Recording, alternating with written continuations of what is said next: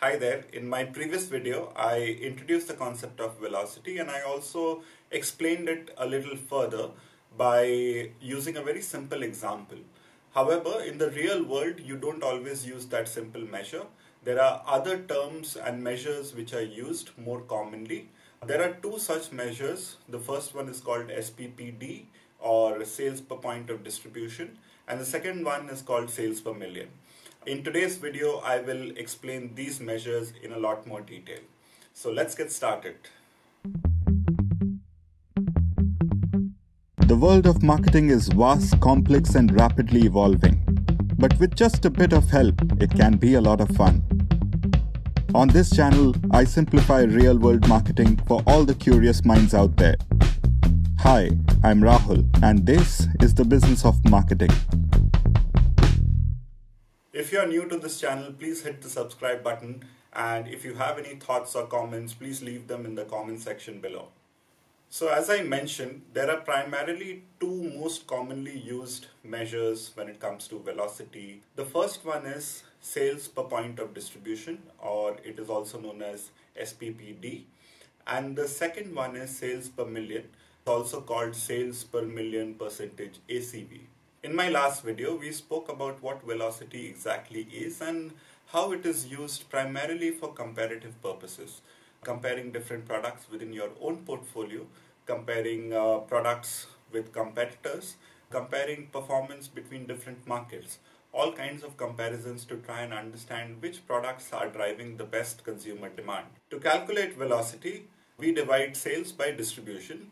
Distribution is always in the denominator what we have already learned about distribution is that distribution measures which are commonly used in the real world aren't the simple distribution but they are the weighted distribution and the most common measure which is used for distribution is percentage ACV which weighs different retailers on the basis of their overall size. The first measure that we are going to talk about today is SPPD or sales per point of distribution, which takes weighted distribution or the percentage ACV distribution into consideration rather than simple distribution.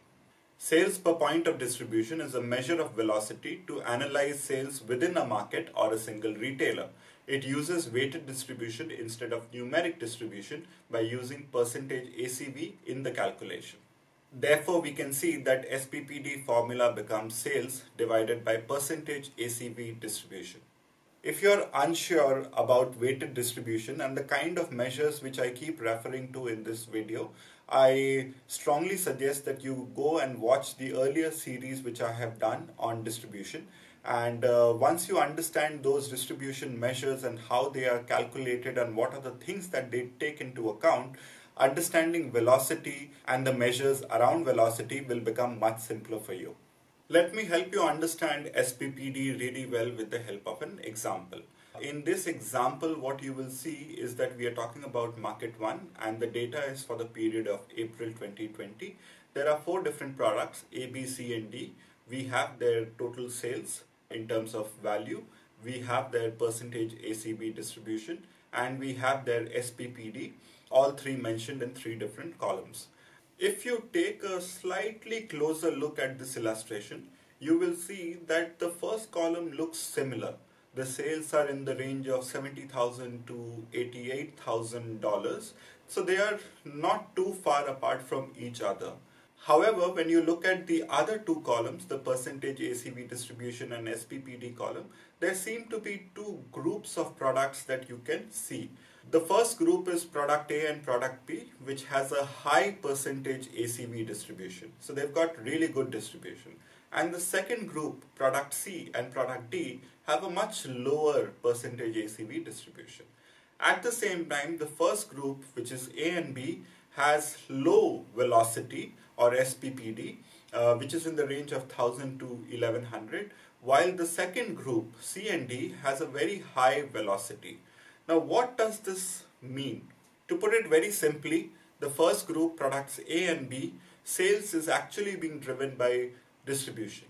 While for the second group, which is products C and D, sales is being driven by velocity.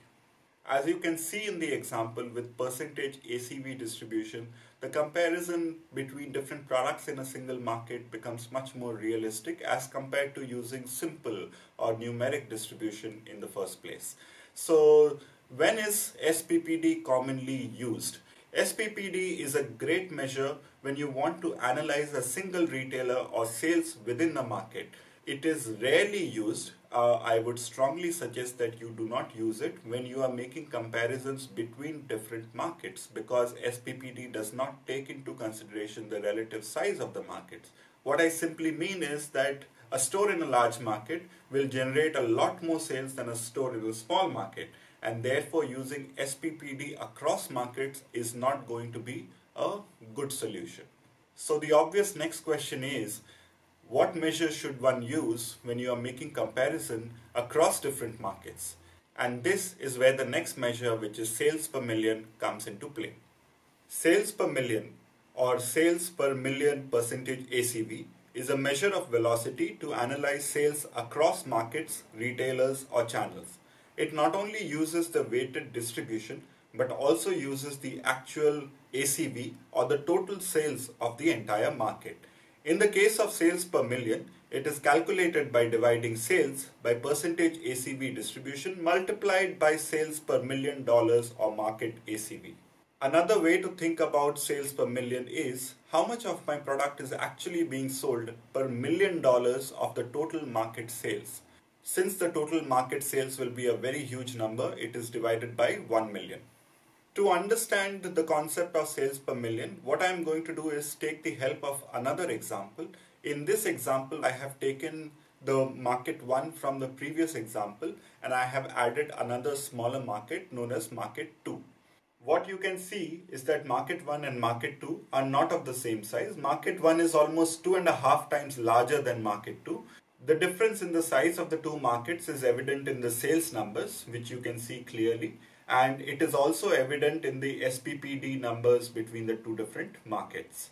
However, when it comes to the percentage ACV distribution between the products in the two markets, the difference is not that huge. So the main question to try and understand over here is, does lower SPPD in market 2 mean that there is a much lower demand for the products in market 2 and that is what we are going to try and find out.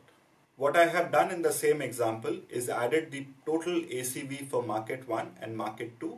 In the case of market 1, the total sales for the month of April 2020 is 120 million and in the case of market 2, the total sales is 50 million. By using the ACV for the individual markets, we can easily calculate the sales per million for all the products in both the markets. And this is when we can compare the SPPD for the different products in market 1 with the sales per million of the different products in market 1 and at the same time we can look at the same data for market 2. So when we compare the SPPD numbers between the two different markets, we see that SPPD is showing a situation wherein in market 2, the consumer demand or the velocity is extremely low for the same products. However, when we look at the sales per million numbers, we see that the consumer demand for each of the products is actually pretty similar between the two markets. What this means is that SPPD was not the right measure to compare two different markets because the size of the markets is very different and sales per million takes into consideration the size of the markets and adjust the data accordingly. And that brings me to the end of today's video. I spoke about two different measures, SPPD and sales per million. Just keep in mind that when you're making comparisons within a single market or a retailer, you can use SPPD as the right measure because it takes uh, weighted distribution into consideration. However, when you are making comparisons between different markets, you should always use sales per million as the right measure because it not only takes the weighted distribution or percentage ACV distribution into consideration, but it also takes the uh, relative size of the different markets into consideration. Sales per million is something which you can use for comparisons not only across the markets but also within the market and some people prefer to use that as the single measure for measuring velocity. I really hope you liked today's video and if you did, please hit the like button. And if you haven't already subscribed to my channel, you should subscribe now. Uh, if you have any thoughts on what else I should cover, do let me know in the comment section below. And thank you for being a part of Business of Marketing.